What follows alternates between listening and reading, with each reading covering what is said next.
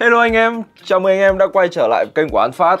Và anh đây, nếu anh em đang cần tìm một chiếc laptop có thiết kế gọn nhẹ, thời trang cùng với cấu hình đủ tốt để phục vụ công việc hàng ngày Thì đây, mình sẽ giới thiệu ngay cho anh em chiếc Inspiron 14 5430 đến từ nhà Dell. Đây là một chiếc Ultrabook mỏng nhẹ, rất phù hợp với những ai có công việc hay phải di chuyển này, không cố định Đòi hỏi một người bạn đồng hành phải có tính cơ động cao. Thì đây, nhưng mà thôi, giờ thì hãy cùng mình vào chi tiết để xem chiếc máy này có gì đặc biệt nhé. Bắt đầu thôi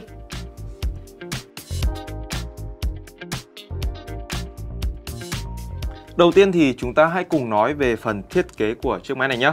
Ờ, Dell Inspiron 145430 sở hữu một thiết kế tối giản, tất cả đường nét chi tiết đều được đơn giản hóa. Tuy nhiên không phải vì vậy mà chiếc máy này trở nên nhàm chán hơn. Mặt A được làm bằng kim loại cao cấp, vừa mang lại sự sang trọng và tinh tế, vừa mang lại cảm giác chắc chắn khi cầm nắm, giảm thiểu tối đa hiện tượng flex và với cân nặng chỉ khoảng 1,5 cân thì bạn có thể hoàn toàn mang chiếc máy này ra ngoài làm việc một cách dễ dàng và tiện lợi. Về phần bản lề thì mình thấy khá là chắc chắn, có thể mở gập bằng được một tay. Và thiết kế của bản lề này giúp nâng cái gầm máy cao hơn so với mặt bàn, từ đó hỗ trợ tản nhiệt hiệu quả hơn. Tiện nói về phần tản nhiệt thì chiếc máy này có các khe tản nhiệt được thiết kế ở phía dưới phần đáy. Khá là quen thuộc với các dòng laptop văn phòng rồi đúng không nào? Tiếp theo là về các cổng kết nối thì ở đây chúng ta có khá là đầy đủ bao gồm là một cổng sạc, một cổng Type-C, một cổng HDMI, hai cổng USB Type-A và một cổng cho jack tai nghe 3.5mm. Tiếp theo là về cấu hình. Chiếc máy này được trang bị CPU Intel Core i5 1340P, RAM 16GB, 512GB SSD và VGA NVIDIA MX 552GB. Với CPU i5 đời thứ 13 và 16GB RAM, anh em có thể sử dụng làm việc những tác vụ văn phòng hay lướt web và nhiều tab vẫn cực kỳ thoải mái và không sợ giật lag.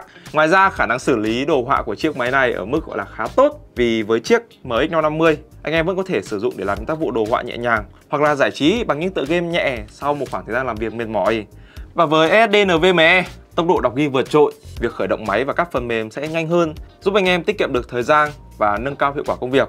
Đi kèm với cấu hình này, chúng ta có một chiếc màn 14 inch, độ phân giải là Full HD cộng là 1920 nhân với 1200, tỷ lệ là 1610, độ sáng là 250 nit. Và tất nhiên, đây là một chiếc laptop văn phòng nên mình không kỳ kỳ vọng cao về tần số quét và quả thực tần số quét trên chiếc màn này là 60 Hz.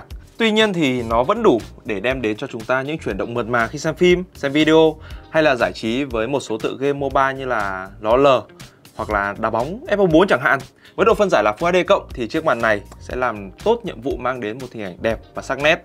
Ngoài ra, chiếc màn này còn được trang bị công nghệ anti-glare.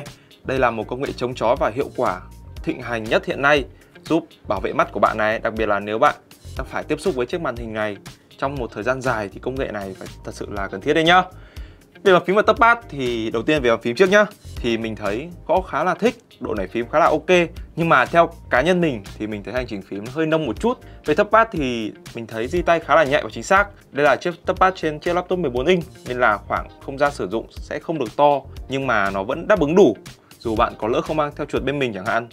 Tuy nhiên, đây là một chiếc laptop văn phòng, nhưng mà mình vẫn sẽ có test game để cho anh em thấy được hiệu năng của em máy này như nào nhá. Và đầu tiên là các tác vụ văn phòng trước, thì anh em có thể thấy đây, mình lướt web với chuyển tab rất là mượt mà, không hề có hiện tượng giật lag. Còn về game, thì ở đây mình test một tựa game là cực kỳ quen thuộc với hầu hết tất cả anh em ở đây, đó chính là LOL ở đây mình đang để setting là very high, thì FPS mang lại cho chúng ta rơi vào khoảng 70 cho đến 80 FPS nhiều khi vẫn lên hơn, và mình để very high nha anh em. Nếu anh em để lâu hoặc là medium thì có khi lên vài trăm, một hai trăm là chuyện bình thường. Nhiệt độ của CPU rơi vào khoảng 68 độ, còn GPU là rơi vào khoảng 65 mình thấy khá là mát đấy chứ. Còn cái phần trăm sử dụng thì của CPU rơi vào khoảng hai mươi mấy 27 28 còn GPU là 40 cho đến 43 và cái số RAM ăn ở đây mình thấy nó ăn khoảng hơn 10 GB RAM, nhưng mà để laptop văn phòng mà anh em. Laptop văn phòng mà chơi game để very high mà 80 fps thế này là quá là ngon và chốt lại, sau khoảng thời gian sử dụng, mình thấy chiếc máy này đáp ứng được hầu hết các nhu cầu công việc của mình với cân nặng chỉ khoảng 1,5 cân nên là dễ dàng mang ra quán cà phê làm việc. Mình ở nhà là hay bị mẹ cằn nhằn suốt là suốt ngày nhà chơi game rồi đuổi ra ngoài.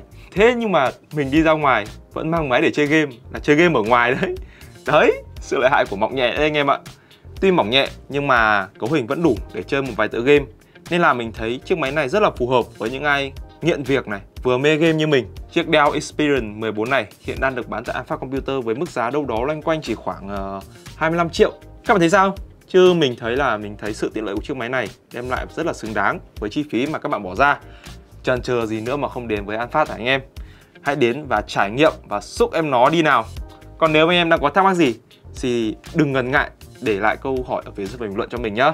Có link sản phẩm mình cũng sẽ để phía dưới phần mô tả video. Cảm ơn anh em đã xem và hẹn gặp lại anh em ở những sản phẩm tiếp theo nhé.